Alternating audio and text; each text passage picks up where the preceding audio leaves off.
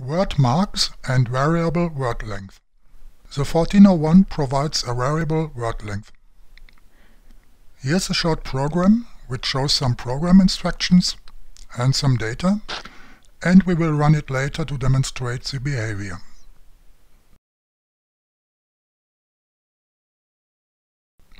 A 1401 word is a sequence of characters.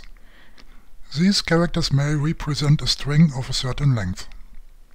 In case of text, this resembles strings as in modern programming languages. In case of numbers, the 1401 does not use a binary representation of certain bit length. Since it's a BCD-based computer, it simply uses a string containing the figures 0 to 9.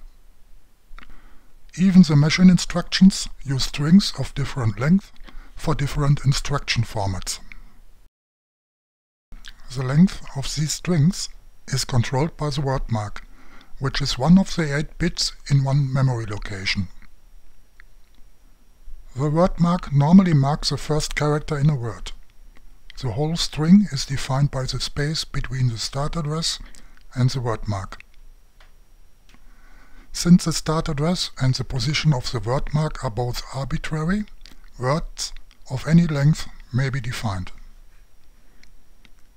In case of machine instructions, the address of the instruction is the lower address containing the command, followed by the parameters, and it's terminated by a word mark at the beginning of the next instruction. The move instruction, for example, is an M followed by none or 3 or 6 figures, defining the source and destination addresses. Three consecutive move instructions could look like this. The word mark of the second instruction defines the end of the first instruction, just as the word mark of the third instruction defines the end of the second instruction, which is again terminated by the next word mark. The instruction to be executed is defined by the low address, which is the command code.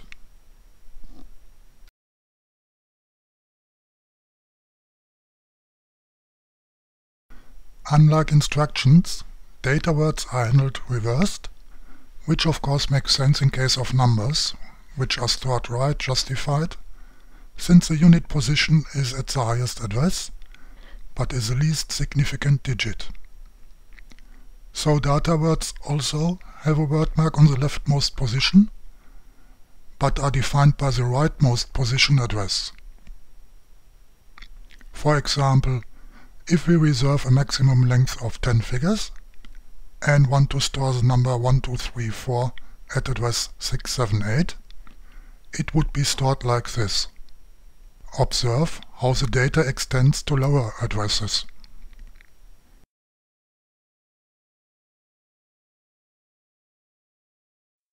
Non-numeric data is handled the same way, but can of course be positioned left or right justified just as needed.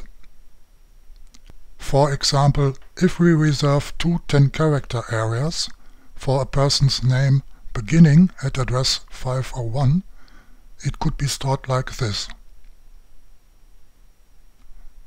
Keep in mind that for addressing the data, you have to specify the 510 and the 520. Since the size of the field is arbitrary, the 1401 may do calculations with numbers of any size as long as they fit into memory. The management of Bill Gates' bank account wouldn't be a problem for 1401.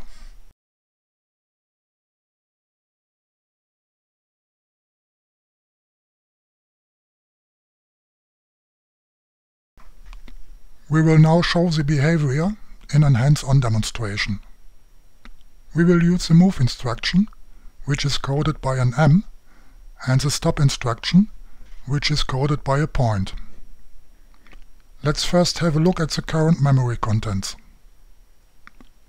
This storage printout shows the stored characters, together with an extra line showing the word marks. Here, beginning at address 1, we have some move commands, in this case from address 50 to address 80, followed by stop instructions, each separated by a word mark. A program list may look like this.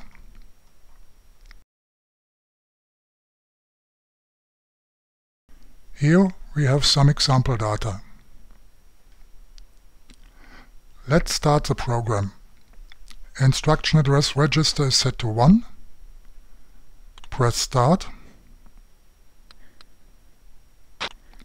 Let's have a look at the memory.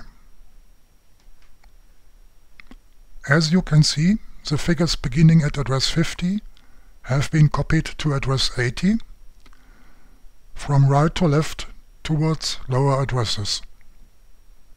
Only seven figures have been copied, since the word mark at address 44 stopped further copying. Again start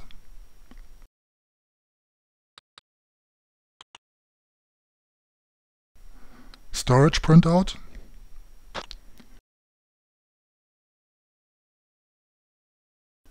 Move from 60 to 90 has been executed.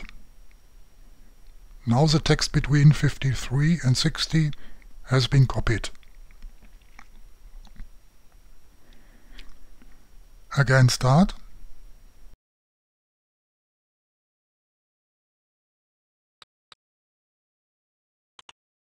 storage printout.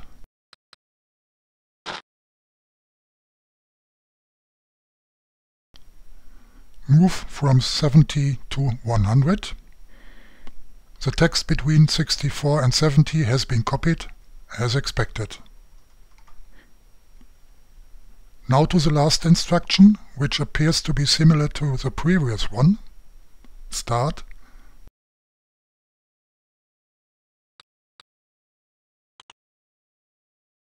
storage printout.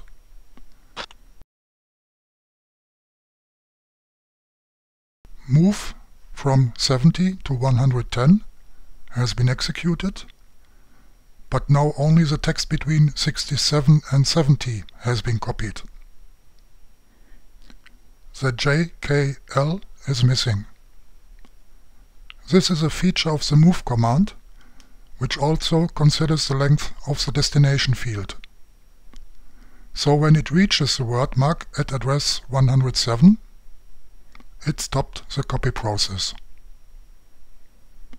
But this behavior depends on the certain instruction and is of course described in the related manuals.